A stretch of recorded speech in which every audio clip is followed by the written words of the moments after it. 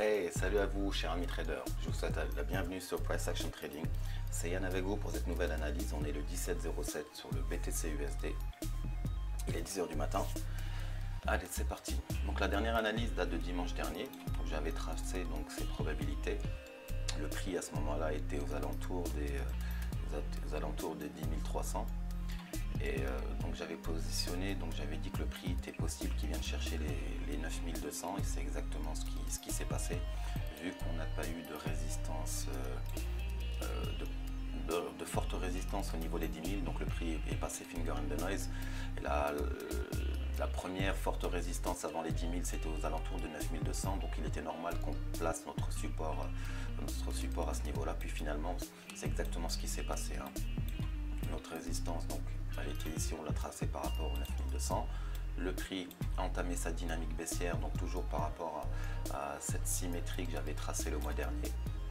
Donc le prix donc, est rentré dans cette symétrie, il a fait exactement euh, bah, ce qui était prévu finalement. Donc il est bien venu chercher ici la barre des, 9200. On a eu un rejet, on a eu un rejet des 9200, d'accord, avec ce pin bar haussier. En délit, en c'est beaucoup plus clair. Les amis.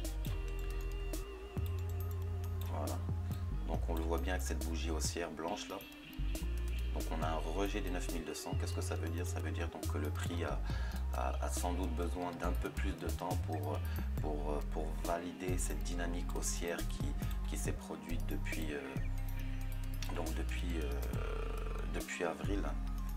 Depuis le 1er avril, donc avec cette belle bougie haussière, donc on, a, on, met en place notre Ishimoku, voilà, donc on a cette belle bougie qui vient casser notre Tenkan, notre Kinjun et depuis donc le prix est en dynamique haussière, il se sert de la Tenkan comme support.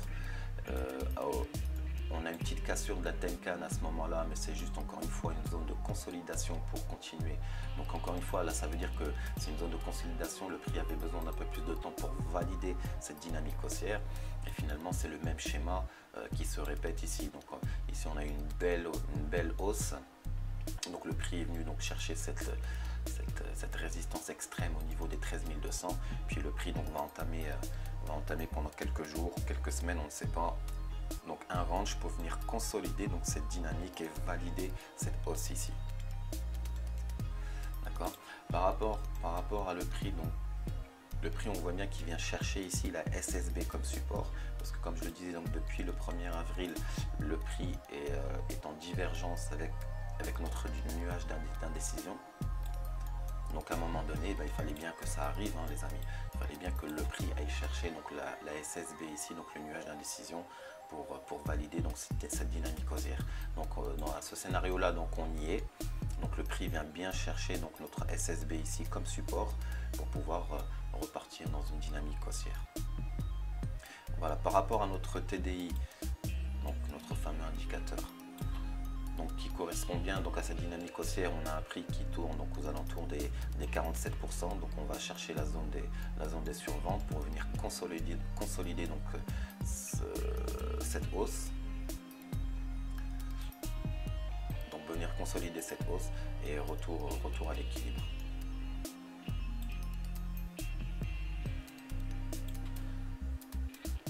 Donc pour les personnes qui veulent se positionner à l'achat, on va attendre euh, on va se mettre en H4. On va se mettre en H4. Voilà, pour les personnes qui veulent se positionner à l'achat, on, on va attendre un signal clair, d'accord? On, on va attendre que notre RSI euh, on est encore en zone de survente, il faut faire attention pour les personnes qui veulent se positionner à l'achat. On est aux en H4, on est aux alentours des 30%, donc on est en zone de survente.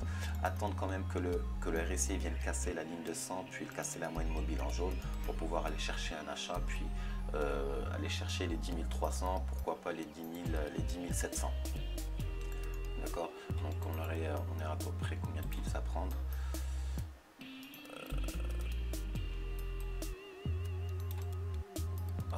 On aura à peu près 12 000 pips, 12 000 pips à prendre en allant cherchant les 10, les 10 600, 10 700.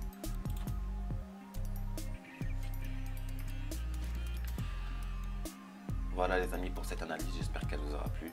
Encore une fois, si vous avez des questions ou quoi que ce soit, n'hésitez pas dans les commentaires, je suis là pour vous aider. Et n'oubliez pas de sécuriser votre capital avant toute chose. Attendez d'avoir des patterns bien clairs pour pouvoir prendre des positions. D'accord les amis? Sur ce, je vous souhaite une excellente journée et je vous dis à très bientôt. Ciao, ciao, ciao.